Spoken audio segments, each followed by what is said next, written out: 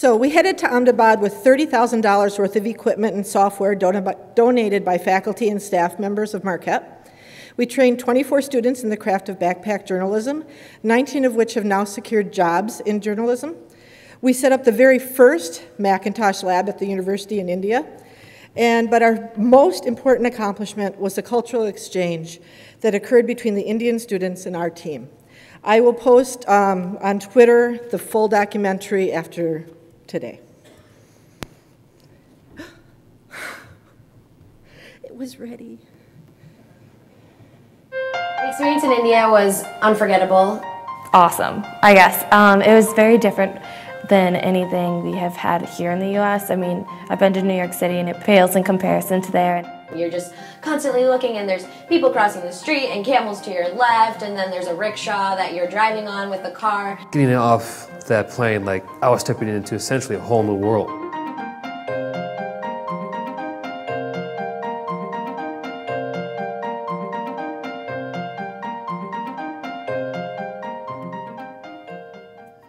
Obviously, when it comes to teaching anywhere, overseas, heck, even in a different part of town, there's always going to be barriers, be it personal or, or cultural, that you have to go through. It's walking in, working with them, respecting their culture, and saying, you know what, how can I learn from you, and how can help me be a better person through um, what I can learn from you.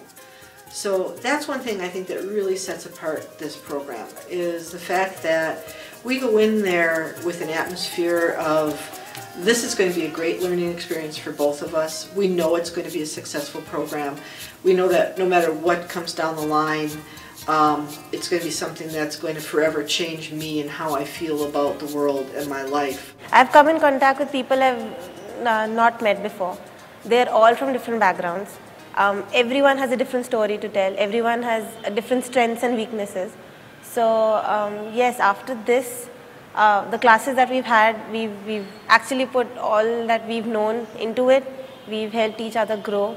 So I definitely say it's a two-way street because of the fact that I learned more in the time that I was there than I did about myself the 19 years I've lived. And I think that's something that I definitely realized when I had a conversation with Father Daniel one, one afternoon when we were just sitting in the grass while the students were doing an assignment. And I, like, I was just talking to him about how much that I've learned from the Jesuits, from the students, and from the faculty there about their culture and about things that they've taught me about myself and about themselves.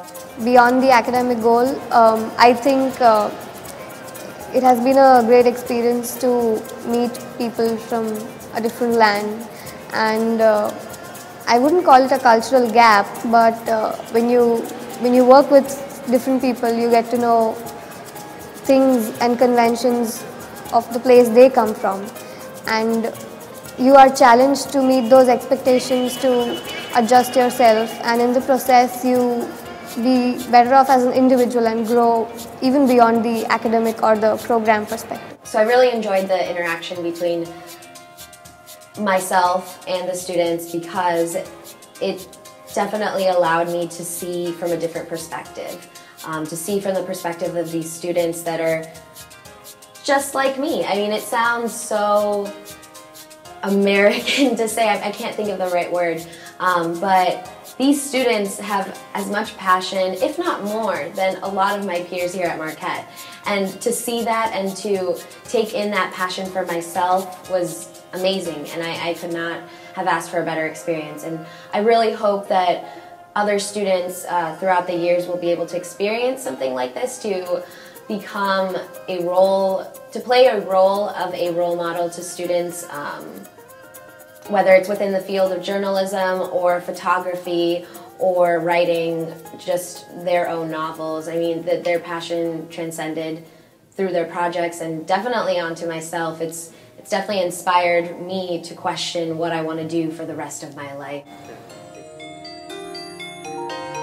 Thank you very much.